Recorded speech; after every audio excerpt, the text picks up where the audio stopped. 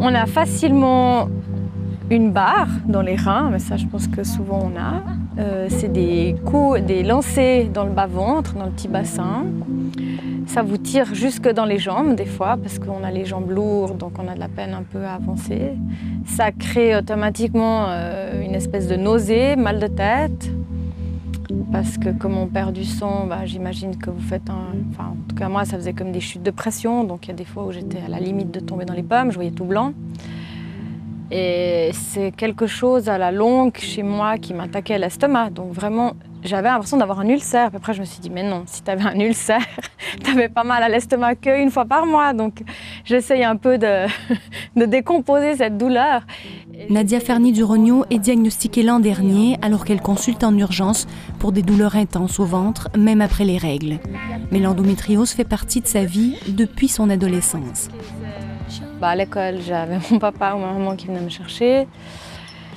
Et puis au travail, ben, soit je restais chez moi, soit quand je me disais bon ça va aller, euh, souvent on me disait mais c'est dans la tête, c'est ta, on me disait ça, c'est ta résistance à la douleur, t'es un peu euh, peignette, etc. Alors je me, je me disais dans ma tête, ok alors ce mois, même si tu dois tomber de ta chaise, tu vas aller travailler.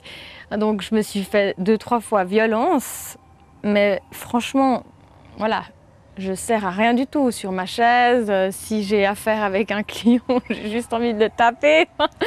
je veux dire, c'est insupportable parce qu'on est super ciblé sur, euh, sur nous. On est complètement, euh, on est un peu en transe, j'ai envie de dire. la douleur est tellement forte que les gens ils vous parlent et puis, je sais pas, c'est assez spécial comme sensation. Enfin, chez moi je me disais déjà à l'avance, je sais que le 23 de ce mois, je vais être malade. Alors après, les gens me disent, oui, mais toi, tu prévois d'être malade cette date. Je dis non, c'est juste que s'il y a des, séances importantes ou s'il y a quelque chose d'important, je ne peux pas le prévoir à cette date parce que je sais que je, je sais à 95% que je ne vais pas pouvoir euh, tenir l'engagement. Lors d'une laparoscopie, on découvre deux énormes kystes à Nadia, des adhérences, un ovaire collé à l'intestin, des trompes de Fallope contorsionnées, tirées vers le bas, bref, un stade avancé d'endométriose.